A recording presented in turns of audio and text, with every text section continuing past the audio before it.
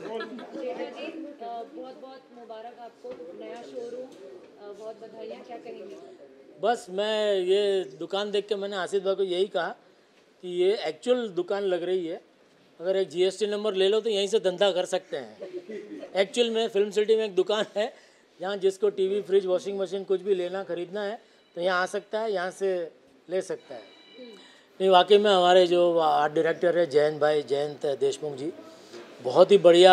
हम भी जब पूरे कास्ट जब ये क्लाइमैक्स हम कर रहे थे इस कहानी का, और सब पूरी टीम जब पहली बार इस दुकान के अंदर आई तो हम भी देख के एकदम चौंक गए मतलब खुशी के मारे चौंक गए कि इतना रियल ये लग रहा है कि ऐसा लग ही नहीं है कि ये सेट है।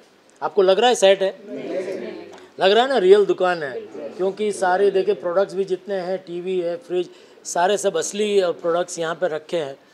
और एक जो छोटी छोटी जो डिटेलिंग है कि वहाँ पे लाइसेंस रखा हुआ है या सब देखिए जितने भी प्रोडक्ट्स है वो सब इतने बढ़िया तरीके से पूरा सजाया है तो वाकई में एक अलग सी एक पॉजिटिव एनर्जी अंदर आते ही हम सबको फील हुई। तो वी आर लुकिंग फॉरवर्ड कि अब दुकान के सीन अच्छे से होंगे मुझे याद है लॉकडाउन के पहले 16 मार्च 2020 अ, मेरा लास्ट डे ऑफ़ शूट था लॉकडाउन के पहले। और वो दुकान में था सोलह मार्च 2020 उसके बाद आज इतने दो साल के बाद दो साल से भी ज़्यादा अभी ये तो जून चल रहा है। तो अभी बस दो दिन पहले हम लोग ये दुकान में आए शूटिंग करने। तो अ, बहुत ही मतलब अ, अच्छा भी फील हो रहा था और थोड़ा सा अ, दुख भी हो रहा था क्योंकि घनश्याम भाई अ, नटू काका हमारे साथ नहीं है। तो उनको बहुत मिस कर रहे हैं हम इस दुकान में आके। बट आई एम श्योर वो जहाँ भी होंगे हम सबको आशीर्वाद दे रहे होंगे ये देख करके। अ, और बताइए। सुंदर जी ने वापस आपको काम दिया कहीं ना कहीं। अभी वो तो हाँ देखिए अभी दया आने वाली थी। फिर से उसने हमें उल्लू बना दिया। तो अभी पता नहीं ये आसिफ भाई क्या चाहते हैं। तो बस यही आशा करते हैं कि बहुत जल्दी अभी कुछ सुंदर भाई उल्लू ना बना के कुछ अच्छे दिन भी देखने को मिले। जेठालाल को। आप खुद कितना मिस करते हैं? क्योंकि दया भाई दया बहन का कैरेक्टर और जेठालाल का कैरेक्टर इतना चौदह सालों से लोगों ने इतना प्यार दिया उस कैरेक्टर को। हाँ आप दो तीन साल से नहीं हैं दिशा जी लेकिन आप कितना मिस करते हैं? क्योंकि कहीं ना कहीं आप लोगों की जो ट्यूनिंग की जो केमिस्ट्री थी वो लोगों को आज तक मतलब लोग पुराने क्लिप्स देखते हैं टू यू नो रिवाइव नहीं बिल्कुल डेफिनेटली बिकॉज़ ऑलमोस्ट दस साल आप कह सकते हैं कि दिशा जी और अ, मैंने हम लोगों ने काम किया। और जो जैसा आपने कह रहे कि हमारी ट्यूनिंग डे वन से जो केमिस्ट्री हम दोनों की जम गई थी और बहुत ही मज़ा आया। आ, ये दस साल हमने बहुत अच्छे अच्छे सीन्स आप पुराने मतलब एपिसोड जो थे बहुत ही मज़ा आता था। ऑफ़ कोर्स दिशा जी तो नंबर वन आर्टिस्ट है ही। और स्पेशली कॉमेडी में जो एक अनइनिबिटेड जो अप्रोच होना चाहिए एक एक्टर का। तो आई थिंक फीमेल आर्टिस्ट में बहुत कम ऐसा देखने को मिलता है। लेकिन Disha ji of course I mean she was wonderful खुल के जो भी करती थी, जो मैडनेस थी, उनके सोच में, उनके एग्जीक्यूशन में तो वो देख कर के मतलब एज एन एक्टर ही नहीं, पर एज एन ऑडियंस भी मज़ा आता मैं भी कभी कभी पुराने वो जैसे क्लिप्स देखने को मिल जाती है तो मैं भी कभी कभी देखता हूँ कई बार तो ऐसा होता है कि ऐसा लगता है अरे ये सीन कब किया था? क्योंकि इतने सारे सीन कर चुके हैं पिछले चौदह साल में कि भूल जाते हैं कि अरे ये सीन भी किया था क्या? फिर हम आ, उसको देखने लगते हैं तो हमको भी मज़ा आता है कि अरे वाह ये तो बहुत मज़ेदार हुआ था। तो वाकई में yes definitely I mean I personally miss her very much जो एक सीन करने का जो मज़ा एक को एक्टर के साथ आता है वो definitely I I miss it और सर और कोई नहीं पूछ तो मैं कंटिन्यू करती हूँ। सर और जानना चाहती हूँ मैं कि जैसे आपने अभी कहा कि यू नो नट्टू काका को भी आप मिस कर रहे हैं।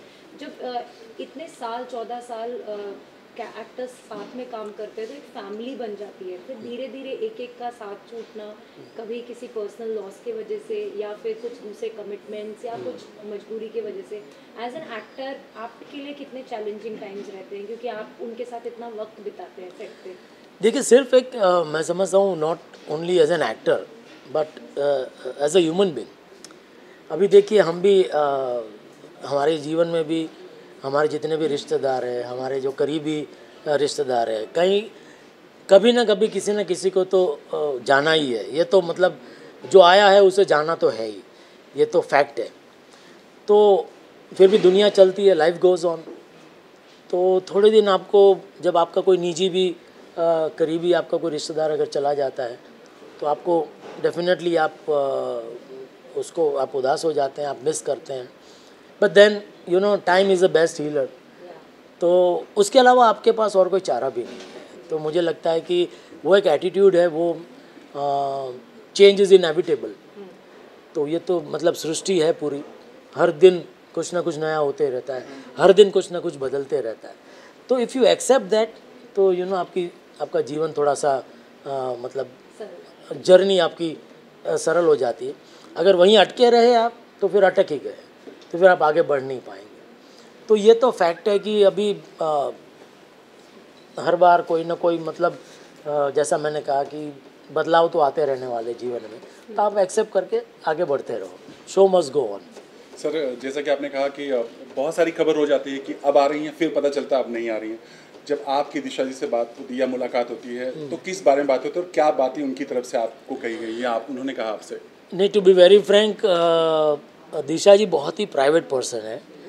तो अगर uh, मैं आपसे कहूँ कि uh, उनसे जब से वो छोड़ के गई है उसके बाद से कभी फ़ोन पे बात नहीं हो पाई है मेरी। Uh, तो जो भी पता चलता है प्रोडक्शन के थ्रू ही पता चलता है कि उनकी क्या बातें चल रही है उनके साथ। और एक उनका एक पर्सनल डिसीज़न है। यू नो एक प्रायोरिटी उनकी है फैमिली तो आई थिंक कहीं ना कहीं हमें भी उसे रिस्पेक्ट करना चाहिए कि दस साल उन्होंने अपनी ज़िंदगी के इस सीरियल को दिए हैं। अब उनकी प्रायोरिटी कुछ और है। अब उनकी प्रायोरिटी फैमिली है। तो उनको डिस्टर्ब नहीं करना चाहिए। जैसा आफ्टर ऑल वो भी आर्टिस्ट है। कभी ना कभी जब उनको मन होगा तो डेफिनेटली वो वापस आ भी सकते हैं। So never say never show में आपके परम मित्र जो आपके प्रिय मित्र थे तारक मेहता जी वो अब शो में नहीं रहेंगे उनके बिना शूट करना आपके लिए कितना डिफ़िकल्ट होगा? सी वही बात मैंने जो पहले भी कही कि बदलाव तो आ, आते रहते हैं। तो आई मीन यू जस्ट थोड़ा सी डिफ़िकल्टी तो होती है ऑफ़ कोर्स एक जो एक रिदम आपकी सेट हो जाती है एक बट अभी you know never say never you never know Shailesh भाई वापस आ भी सकते हैं।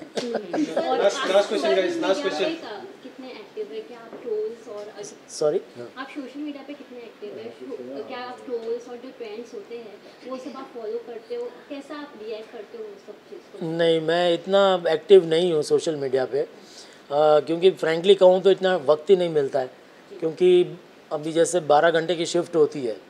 तो उसके बाद जो थोड़ा बहुत वक्त मिलता है वो थोड़ा मैं चाहता हूँ कि फैमिली के साथ बिताऊँ क्योंकि ये सोशल मीडिया तो एक ऐसा राक्षस है जो एक बार अगर आप उसमें गए तो आपको पूरा खींच लेता है तो फिर उसमें घंटे निकल जाते हैं तो बेहतर है कि उससे थोड़ा सा दूर रहो तो अच्छा है 14 years is a long journey, Dilip sir. And when you look back, what are the memories जो flashback की तरह आपके सामने आते?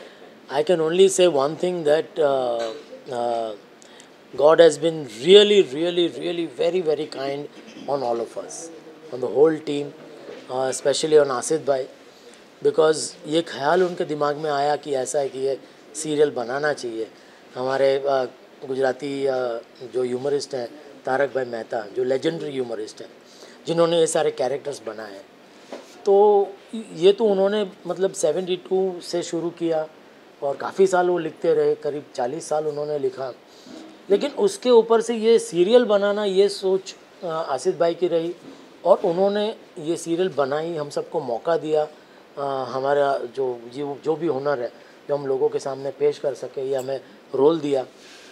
तो मैं समझता हूँ कि ये भगवान का बहुत ही बड़ा उपकार है हम सब के ऊपर क्योंकि आप भी जानते हैं सीरियल आती हैं फ़िल्में आती हैं चली जाती हैं सीरियल बंद हो जाती हैं। लेकिन मुझे लगता है ये लगता क्या है, शायद ये तो वर्ल्ड रिकॉर्ड ही है कि लगातार चौदह साल तक कोई कॉमेडी सीरियल चलना और लोगों का प्यार आज भी इतना पाना ये वाकई में अगर ऊपर वाले की कृपा ना हो तो ये नामुमकिन है। तो मैं तहे दिल से भगवान स्वामी नारायण और मेरे गुरु परम पूज्य प्रमुख स्वामी महाराज, परम पूज्य महंत स्वामी महाराज का तहे दिल से मैं शुक्रिया अदा करना चाहूँगा। कि उन्होंने इतनी कृपा बरसाई है हम सबके ऊपर और बरसाते आ रहे हैं कि अभी भी ये शो चल रहा है। आपकी और बबीता जी की केमिस्ट्री काफ़ी पसंद की जाती है दर्शकों द्वारा उसके बारे में आपका क्या कुछ कहना है? अब तो दर्शकों को भी पता है अब क्या कहे उनको भी वो भी चौदह साल से देख ही रहे हैं लेकिन व्हाट इज़ द कोई आपको कोई फनी कॉम्प्लीमेंट या किसी तरीके का आई एम श्योर बहुत मिले होंगे and it is very you know याद रखना भी बहुत मुश्किल होता होगा लेकिन कोई आपको याद है कि कोई ऐसे यू नो बबीता जी और आपको लेकर जो चलता रहता है एक बैंटर चलता रहता है आप लोगों का उसको लेकर कभी कुछ कॉम्प्लीमेंट या किसी से मिला हो? नहीं कॉम्प्लीमेंट मैं ये समझता हूँ या बिकॉज़ मुझे ऐसा लग रहा था मतलब जब हमने ये शुरू किया तब एक थॉट मेरे दिमाग में एज एन एक्टर बहुत ही क्लियर था। कि ये जो रिलेशनशिप उसको एक एक एक मात्रा में इसको सीमित रखना ज़रूरी है बिकॉज़ बहुत थिन लाइन है। थोड़ा सा भी इधर- हो गया ऊपर हो गया तो वल्गर हो जाएगा। थोड़ा सा कम हो गया तो वो जो इफ़ेक्ट आनी चाहिए वो आएगी नहीं। तो एक और एक पायसनेस होनी चाहिए उसमें कि जैसे हर जो पुरुष होता है उसके खूबसूरत औरत अच्छी लगती है देखने की। तो इससे बढ़कर ये नहीं कि उसमें और कोई मैलिस है उसके दिमाग में। एक अच्छा दोस्त जैसे दो पुरुष है जो अच्छे दोस्त हो सकते हैं वैसे एक जेंट्स और एक लेडीज़ अच्छे दोस्त क्यों नहीं हो सकते? तो ये हमेशा से मैंने ख्याल रखा है। और अ, मैं सबसे बड़ा कॉम्प्लीमेंट ये मानूँगा कि मैं अ, कहीं गुजरात में गया था वहाँ तीन चार दादी माँ की उम्र की औरतें थी। तो वो मतलब उनसे मिलना हुआ। तो उन्होंने मुझे बोला कि अरे आपका और बबीता जी का देख के बहुत मज़ा आता है। तो वो मैं समझता हूँ कि वो अदरवाइज़ वैसे विचारों में कितने ऑर्थोडॉक्स होते हैं। तो उनको जब ये पसंद आता है दैट मीन्स के we are on the right track कहीं हम भटक नहीं रहे हैं। कि उनको ये अच्छा लगना ये वाकई में अच्छी बात है। सो लास्टली जानना चाहेंगे, इतने सालों से ये किरदार निभा रहे हैं। कभी ऐसा हुआ या कभी वो मोमेंट हुआ जब घर पे गए हो और आप घर पे पत्नी जी ने बोला कि जेठा जी मत बनो, और तब क्या रिएक्शन होता है? नहीं नहीं, बिल्कुल नहीं, क्योंकि मैं बेसिकली थिएटर आर्टिस्ट हूँ और ये सीरियल शुरू इसके पहले 25 साल से थिएटर कर रहा था। तो हमारी तो ट्रेनिंग ही यही रही है कि एक बार मेकअप उतर गया तो हम जो है वो हो गए। तो एक बार मूछ उतर गई तो मैं दिलीप जोशी हो गया। मूछ पहन ली तो जेठालाल हो गया। तो वो क्लैरिटी पहले से भगवान की कृपा से है तो उसमें कोई दिक्कत नहीं है। And proud as a father you feel अभी आपकी बेटी की शादी हुई and she set a beautiful example you know she did not grey her and you know colour her hair और उन्होंने जो जितने स्टीरियोटाइप होते हैं कि यू नो लड़की को ऐसे दिखना चाहिए शादी में वैसे दिखना चाहिए वो सब तोड़ कर रख दिए। How proud do you feel yeah absolutely very proud very proud and मैंने पहले भी मीडिया में हुआ ये सवाल मुझसे पूछा गया तब मैंने कहा था कि ये एक्चुअली हमारे घर में ये कोई ऐसा ये हम्म, सवाल ही नहीं था कि अच्छा इसको ऐसा जिसको जैसे रहना है वो फ्रीडम है जिसको जो बच्चों को भी मेरे बच्चों को भी कभी मैंने ये नहीं कहा कि तुमको यही बनना है या ये बनना है उनको जिस विषय में रुचि है उसमें उन्होंने पढ़ाई की और उसी में आगे वो बढ़े हैं। तो जो सीख मुझे मेरे पेरेंट्स से मिली है वही मैं आगे कैरी फॉरवर्ड कर रहा हूँ। तो yes of course I am very very proud as a father that बहुत बच्चे दोनों मेरा बेटा और बेटी दोनों बहुत सुलझे हुए हैं। तो कोई अ, कहते हैं कि कोई भ्रम नहीं है दिमाग में वेरी डाउन टू अर्थ है with good sense of humour जो बहुत ज़रूरी है।